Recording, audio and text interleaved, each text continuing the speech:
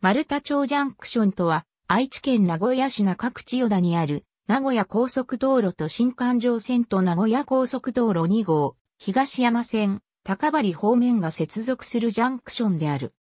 都心環状線が時計回り一方通行であるため、吹上東、四谷、高張方面から1号楠木線方面及び6号、清須線方面へ行くには、この JCT から都心環状線を経由する必要がある。吹上東、四谷、高張方面への分岐路は完成当時にはなく、1号、楠木線が全通した時に追加された。なお、由来となった丸太町は、1977年10月23日に、千代田5丁目及び新坂1丁目へ編入されている。現在は、この JCT を利用して5号、万場線方面と都心環状線を連絡することは不可能であり、その逆もできない。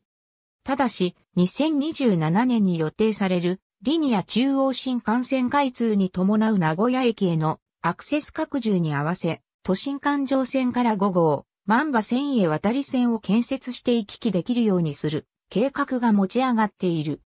2019年に入り、5号、万場線方面から都心環状線への渡り線の追加も検討された。実現すれば、新須崎 JCT から鶴舞南ジャンクションまでの所要時間が現行の都心環状線経由より数分短縮される。